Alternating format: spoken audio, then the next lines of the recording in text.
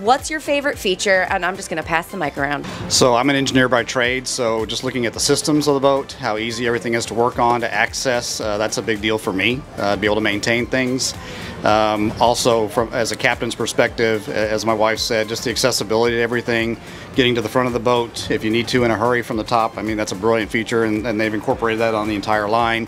Uh, it's obviously been well thought out and uh, it's really appreciated from a, from a captain's perspective. I'm a realtor, so I am looking at this boat as I would look at a house, and I'm looking at storage, being the woman in me, and I see a tremendous amount of storage here, not only in the kitchen.